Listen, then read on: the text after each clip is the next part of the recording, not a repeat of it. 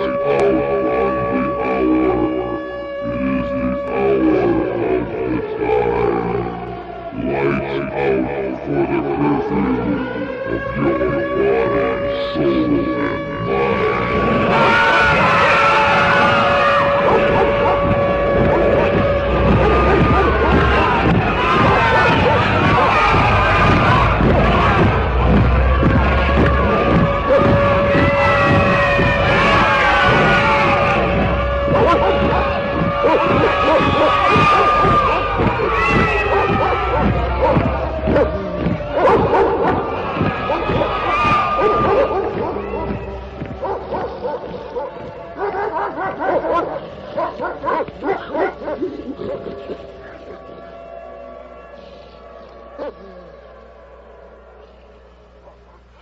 Welcome once again, folks, to the hour of the time and our ongoing series of the exposure of the origins, the history, the doctrine, and the identity of Mystery Babylon. I'm William Cooper. Many of you have written letters and asked, how does one get into the mystery school since no one ever hears anything about it? And there appears not to be a campaign of recruitment, and you're absolutely right. In our research, we have found the requirements to be simple. Be of sound mind and body, have a sincere desire to be illumined, and simply knock up on the door. Well, to continue, remember that the first religion in the world was the religion of the worship of the heavens. And man eventually came to recognize the sun as the representation of the power and the ability of the hidden God of the universe, the invisible God of the universe, the all-powerful creator of everything. But man, as he gained his intellectual ability, began to look toward himself, toward the intellect as that God and the sun, the representation of what used to be the invisible God of the universe, then became the representation of the intellect, the light, Lucifer. And man began to worship the Luciferian philosophy. He believed, these people who call themselves the guardians of the secrets of the ages and still believe, that man was held prisoner in the Garden of Eden by an unjust, vindictive, and very cruel God, the God of the Bible and that he was set free from the bonds of ignorance through the gift of intellect given to him by Lucifer through his agent Satan. Now, many people believe that Lucifer and Satan are the same individual entity, and they may be. I don't know the answer to that. I just know what the mystery schools believe, and I know what I personally believe, and what I personally believe doesn't have any bearing on anything. Knowledge, the truth is what counts. And that's what we're trying to get to the bottom of here. Now, eventually, this philosophy of worshiping, worshiping the intellect or wisdom or the mind became known as Gnosticism. And the followers of Gnosticism began to be known as the Gnostics. An extraordinary number, folks, of exceedingly bizarre talismans and inscribed stones bear witness to the power of the secret Gnostic organizations which flourished in various forms during the few centuries immediately before and after the rise of Christianity in the Middle East. You see, one of the oddest emblems of these schools was the figure of Abraxas. Now that's a human body clothed in a Roman soldier's garb, wielding a battle axe as if threatening an enemy.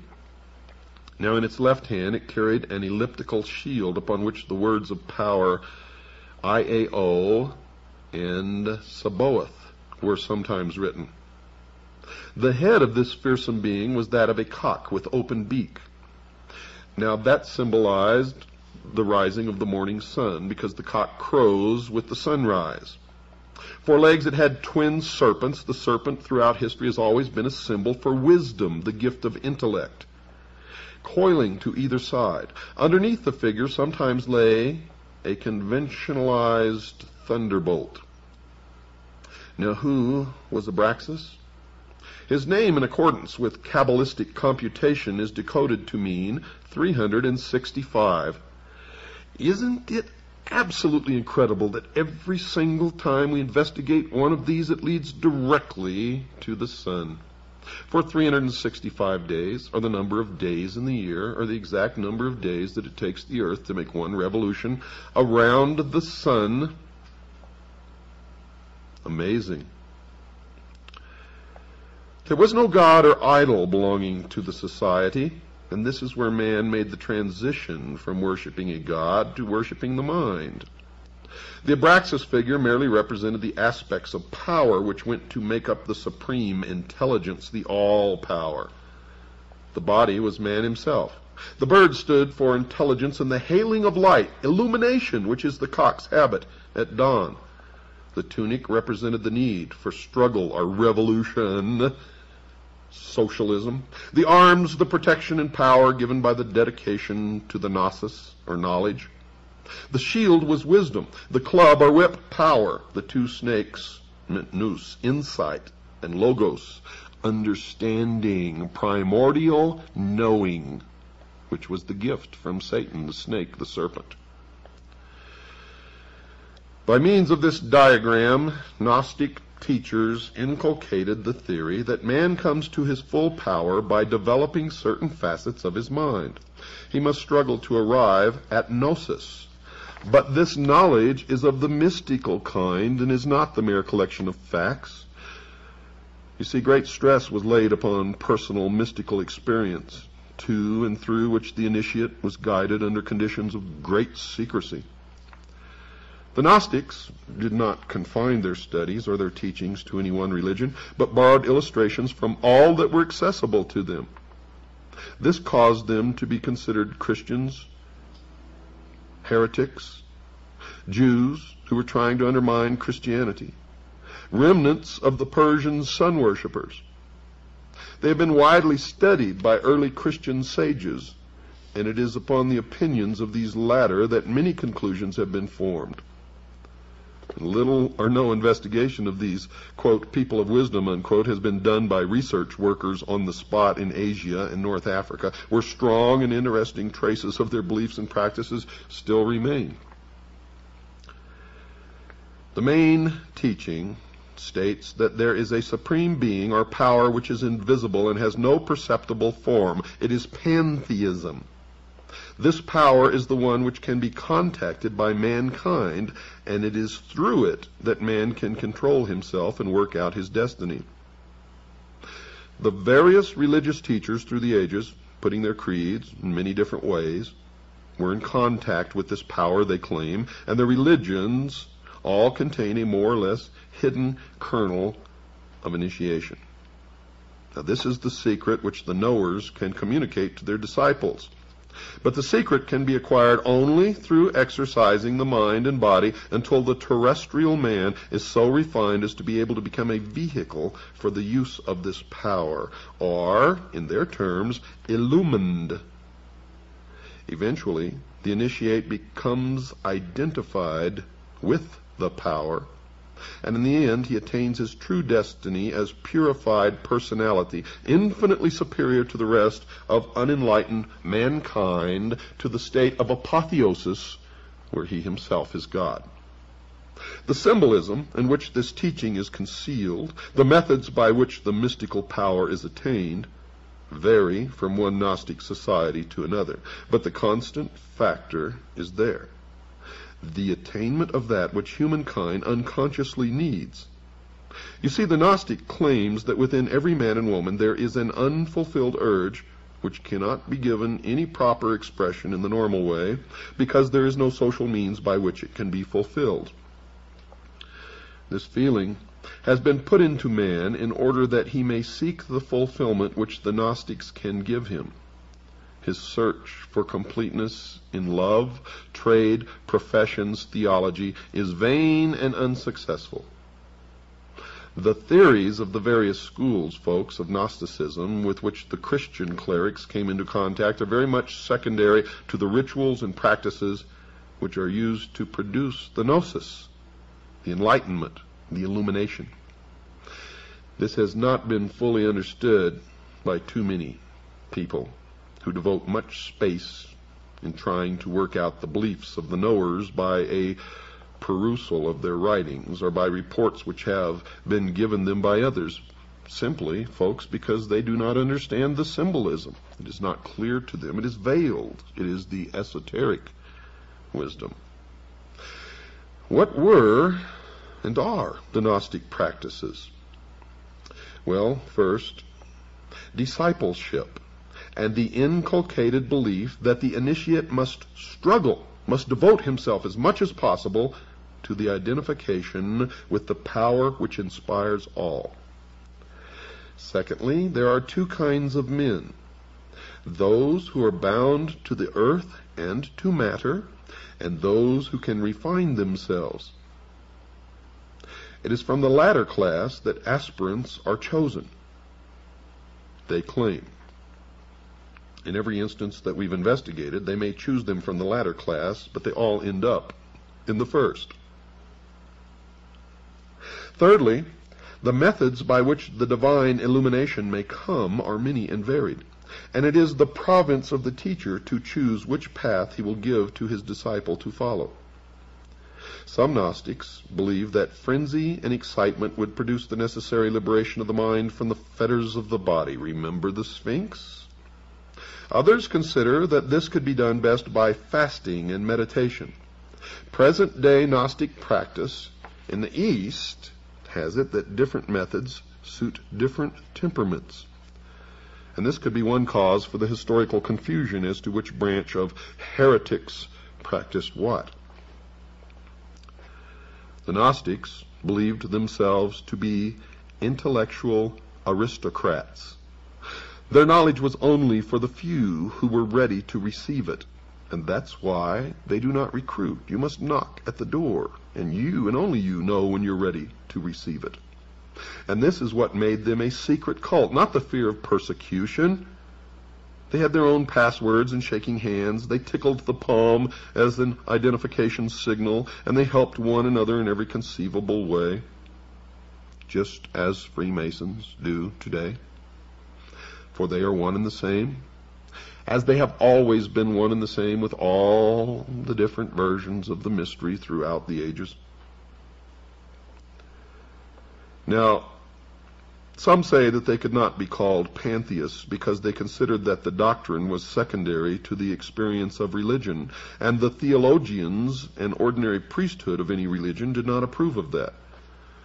They were not, in fact, a religion like most others, because they stressed the importance of the individual before that of the community. Those who were more enlightened were more important in every possible way because they were valuable, refined aristocrats. At the same time, they taught that providing the well-being of the Gnostics was assured. So was that of the community at large. And this meant that they could subscribe to the outward doctrines of any religion and could continue to operate under many different political religious systems.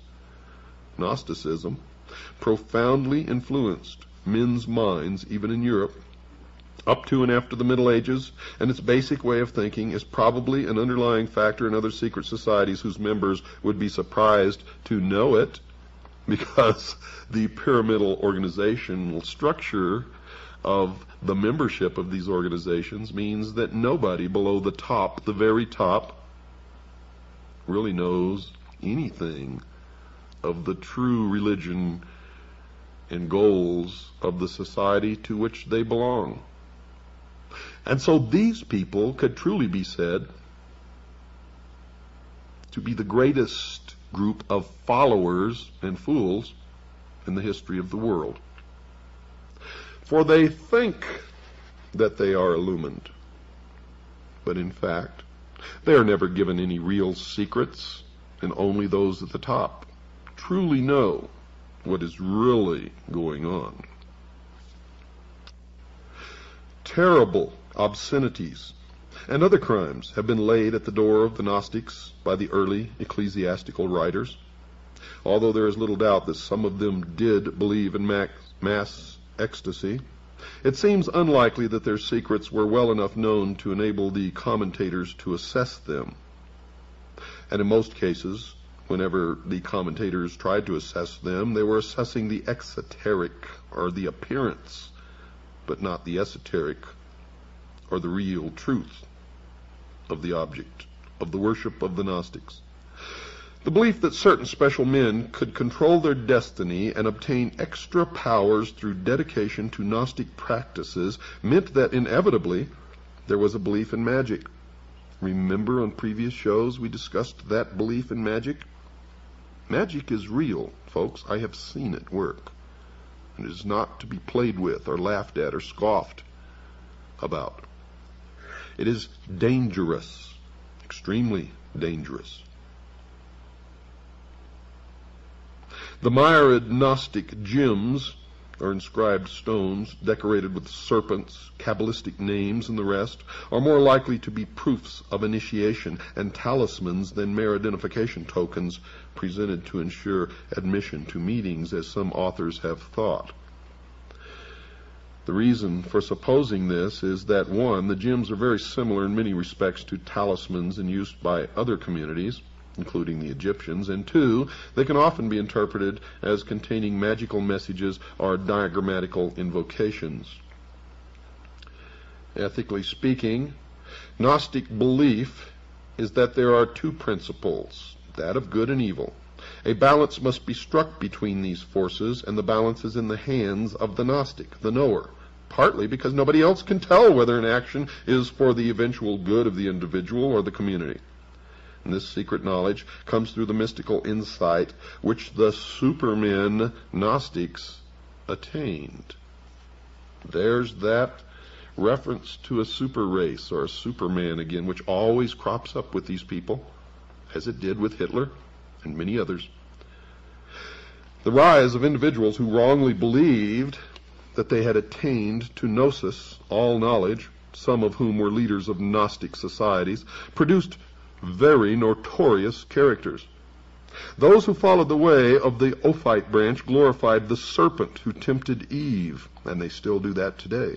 They did this because this snake, by his actions, brought knowledge into the world, gave man the gift of intellect, the use of which will bring him to the state of apotheosis, where man himself will be God.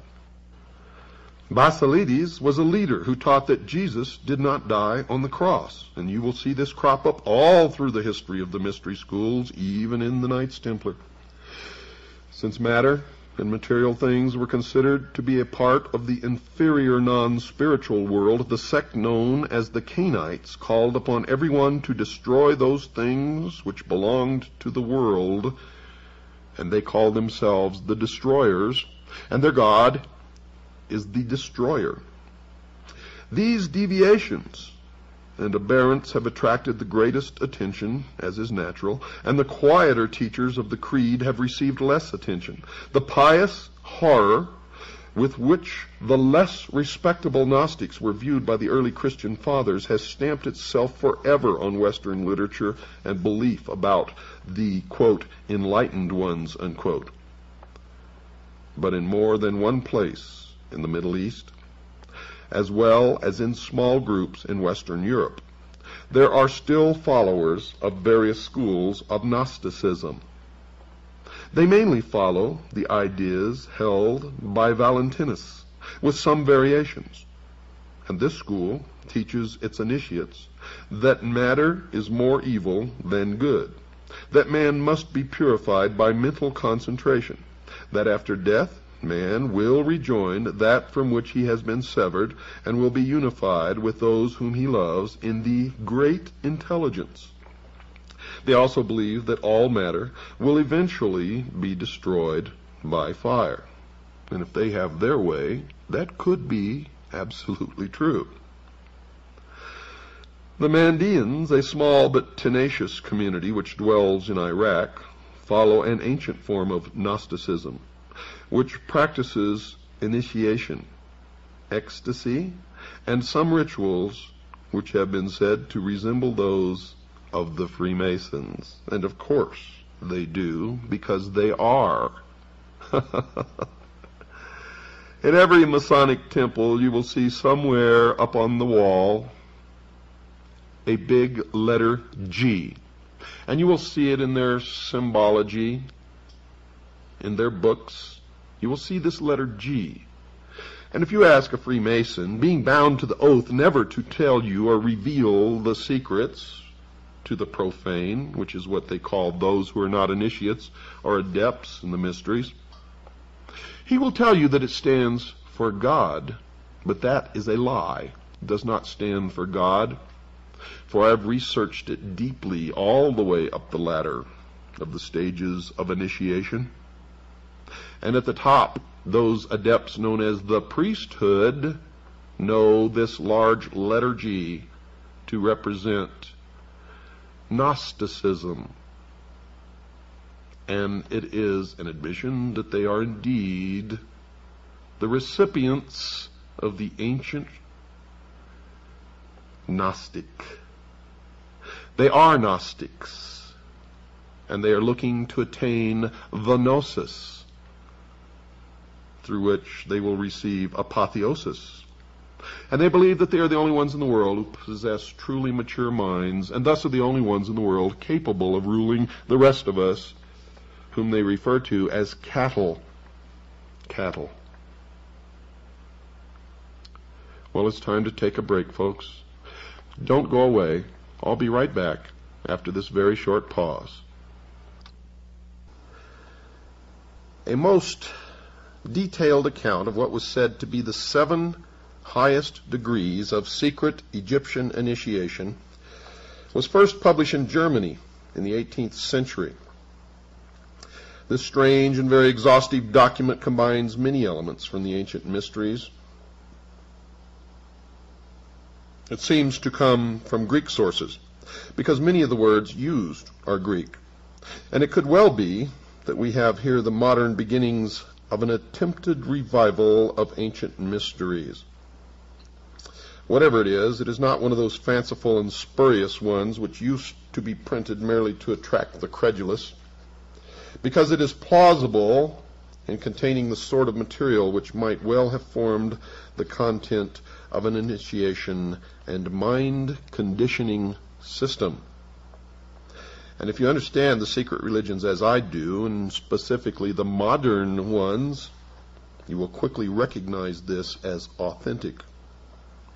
The earliest version known is in the form of an anonymous pamphlet, probably not intended for public sale, of 30 odd pages, printed in 1785. right in that area of history is momentous occurrences. It was republished in a French translation 30 years later purporting to be the ritual of the master degree in Freemasonry. And if you know anything about the master degree in Freemasonry, you will soon see that it certainly is exact in its descriptions.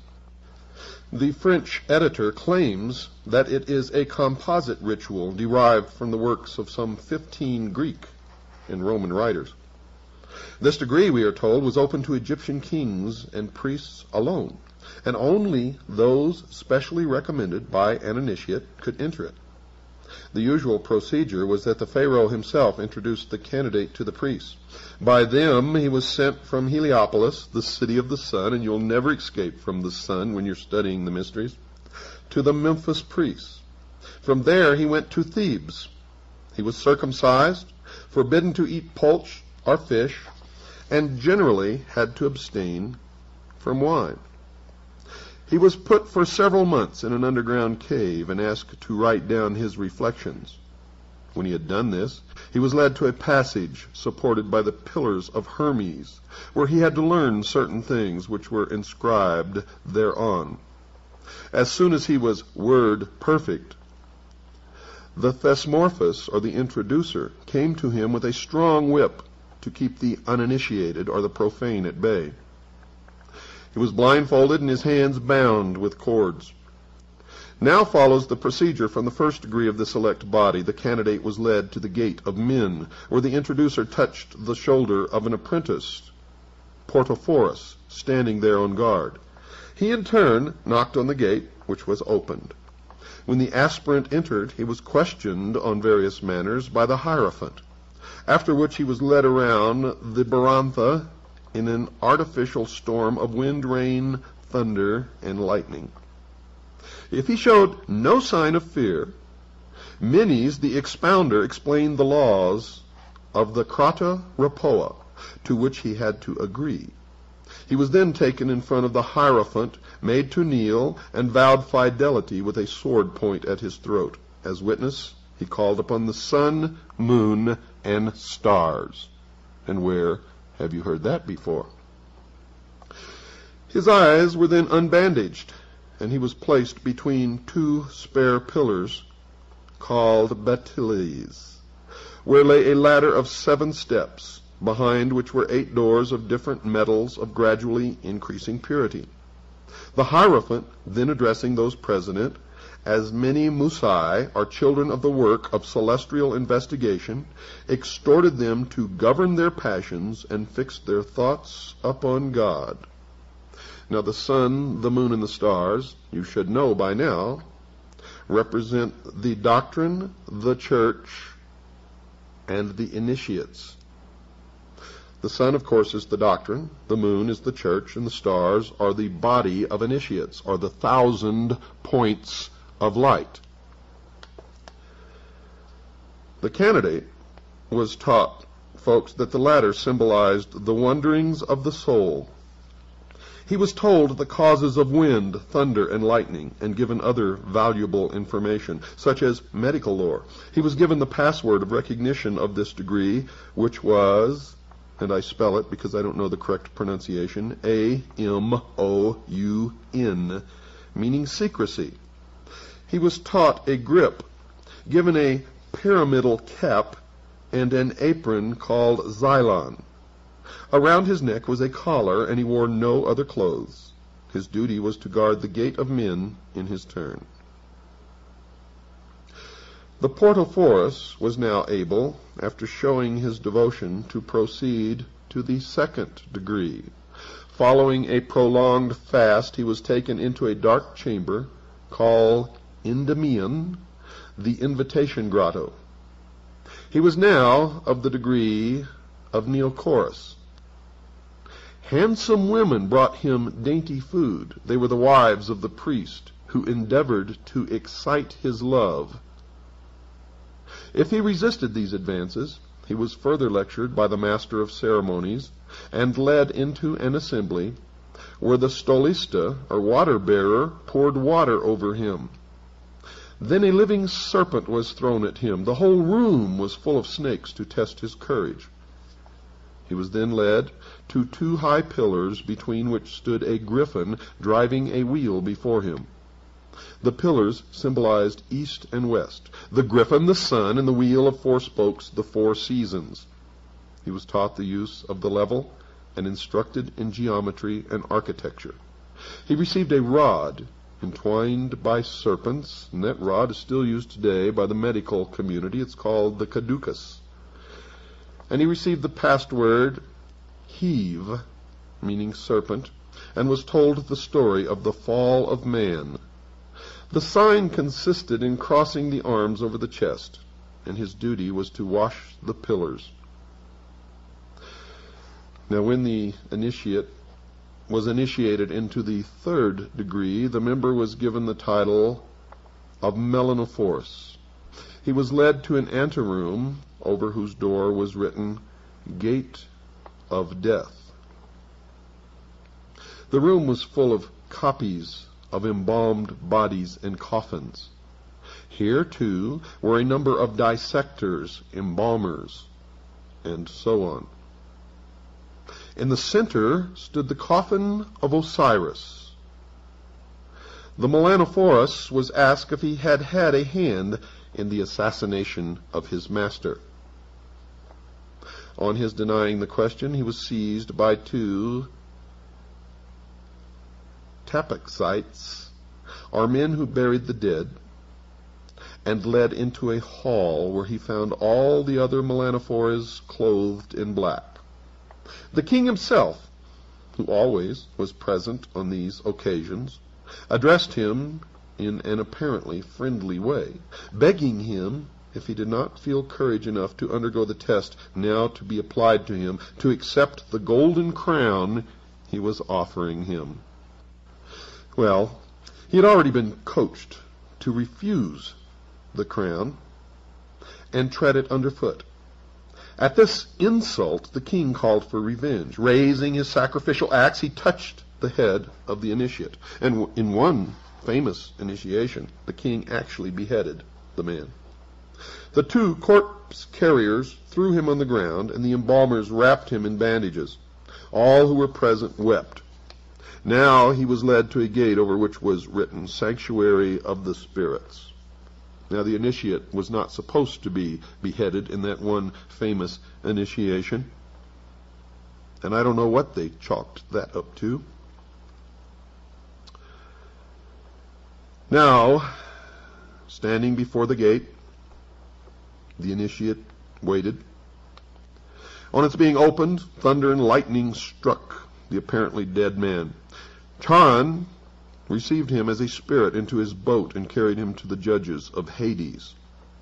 Pluto sat on his judgment seat, while Rhadamanthus and Minos, as well as Aethon, Nycteus, Alastor, and Orpheus, stood beside him. Very severe questions were put to him as to his former life, and finally he was sentenced to remain in these subterranean vaults. Now remember, this is an, in- an initiation, which sometimes lasts for months and even years. The bandages were removed, and he was told never to desire blood, never to leave a corpse unburied, and to believe in the resurrection of the dead and the judgment to come. Now remember, this is long centuries before Christianity. He was taught coffin decoration and the peculiar hierogrammatical script. The sign was an embrace to express the days of wrath.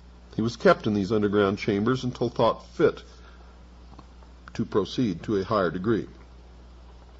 These, quote, days of wrath, unquote, generally lasted for a year and a half until the initiate was ready for promotion to the fourth degree. The Battle of the Shades. He was handed a sword and a shield and taken through dark passages. He met certain persons presenting a frightful appearance, carrying torches and serpents. He was attacked with the cry of Panis. He defended himself bravely but was always taken prisoner. His eyes were bandaged and a cord placed around his neck. Dragging him into a hall, the specters disappeared. He was led into the assembly of initiates and his eyes unbandaged. Before him he saw a magnificent hall decorated with beautiful paintings. The king and the highest dignitary, the demiurgos, were present. All were wearing their alidai, an Egyptian order composed of sapphires. Among those present were the secretary, the treasurer, and the master of feats. The orator made a speech congratulating the new member on his fortitude. He was given a drink called sais, which he drank to the dregs. And this was probably the ritual drink of honey or milk water, wine, and gruel, and perhaps some hypnotic drug. He donned the boots of Anubis, took up the shield of Isis, put on the cloak and cap of Orcus. He was handed a sword and told that he must cut off the head of the next person he met in a cave and bring it back to the king. This cave was pointed out to him. Entering it, he saw what seemed to be a beautiful woman, but in reality was a model of one. Now notice it's a woman he seized this by the hair and severed the head. This he brought back to the monarch, who praised him, telling him that he had symbolically won the head of the Gorgon, wife of Typhon, who had caused the death of Osiris. He was now permitted always to wear the dress which had been given to him, and he was entered in a book as one of the judges of the land. Notice that, one of the judges of the land. He was able to communicate at any time with the king and received an allowance from the court. He was invested with an order, that of Isis in the shape of an owl, And it was revealed to him that the secret name of the great lawgiver was J-O-A, Joah, which was also the password of this degree. But the password for the meetings of the Christophori, as the fourth degree initiates were called, was Sassacus. The fifth degree, that of Balahait, could not now be refused to the Chrysophorus, if he demanded or requested it. He was led to a hall to watch a play at which he was the only onlooker. Other members of the degree went through the hall as if looking for something. One drew his sword, and the terrible figure of Typhon appeared. Of course he was slain. And now the Dew Balahait was told that Typhon represented fire, a terrible element which was at the same time indispensable. The password was Chimia, and the teaching was in chemistry or alchemy. In order to become an astronomer of the gate of the gods, the sixth degree, the candidate was taken to the hall of assembly, bound and led to the gate of death. He was shown corpses which had been cast into water, and warned that he might be similarly treated if he broke his oath. He was given some teaching in astronomy, and taken back to the gate of the gods, where he looked at the pictures of the gods while their histories were explained to him. A priestly dance took place, symbolizing the course of the heavenly bodies. He saw a list of members of the order throughout the world and learned the password Ibis for watchfulness. The last and the highest degree was that of Propheta, in which all secrets were laid bare. It was conferred following public processions, and when the permission of the king and all the highest members had been obtained, the members secretly left the city by night, and retired to some houses built in a square and surrounded by pillars, by the sides of which were placed alternately a shield and a coffin, whose rooms were painted with representations of human life. Now these houses were called Maneras, for the people believed them to be visited by the manes of departed men. On their arrival at these houses, the new member, now called Prophet, or Panka, a man who knows the secrets, was given a drink called oimeles, and told that now all trials were over. He received a cross of peculiar significance, which he was always to wear. He was clothed in a wide, white striped dress called itangi, the usual sign was crossing his arms in his wide sleeves. He could peruse all the sacred books written in the Ammonite language. His greatest privilege was having a vote in the election of a king, and the password was Adan.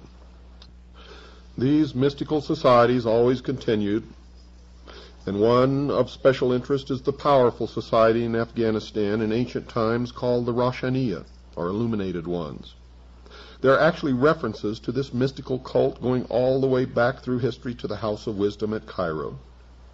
The major tenets of this cult were the abolition of private property, the elimination of religion, the elimination of nation states, the belief that illumination emanated from the Supreme Being who desired a class of perfect men and women to carry out the organization and direction of the world, belief in a plan to reshape the social system of the world by first taking control of individual countries one by one, and the belief that after reaching the fourth degree one could communicate directly with the unknown supervisors who had imparted knowledge to initiates throughout the ages. The Roshaniya also called themselves the Order.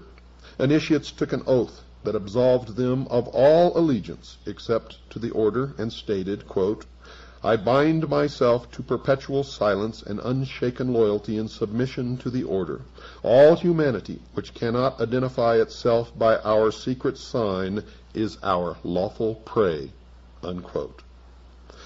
The oath remains essentially the same to this day.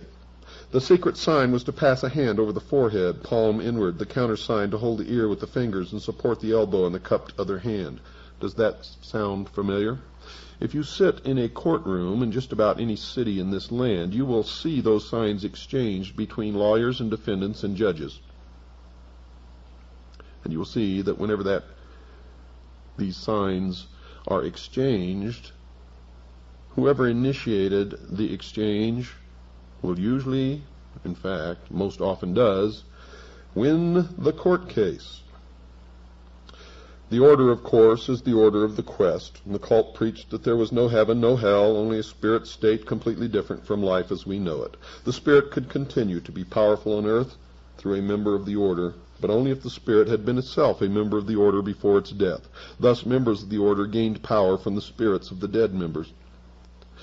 The Roshaniya took in travelers as initiates and then sent them on their way to found new chapters of the order, and they were called fellow travelers.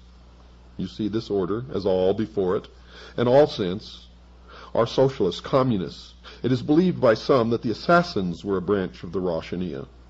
And branches of the Roshaniya are the illuminated ones, are the Illuminati, exist and still exist everywhere. One of the rules was not to use the same name and never mention, quote, Illuminati, unquote. That rule is still in effect today. And it's probably the breaking of that rule that resulted in Adam Weishaupt's downfall. Remember, folks, that we have really only just begun, and you are just beginning to understand, although some of you may think that you already understand. I can assure you that maybe a very small minority of you really do. Most do not. We have a long way to go in this history and in your own particular individual illumination. oh, I just love it.